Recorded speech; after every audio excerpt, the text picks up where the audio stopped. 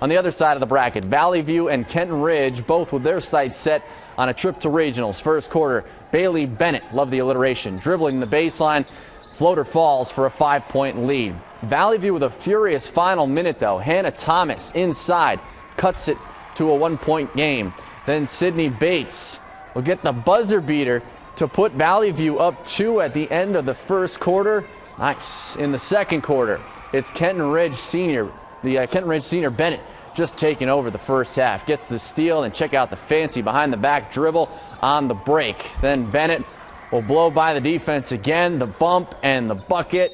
But this one comes down to the last seconds as Kenton Ridge edges Valley View 39 37.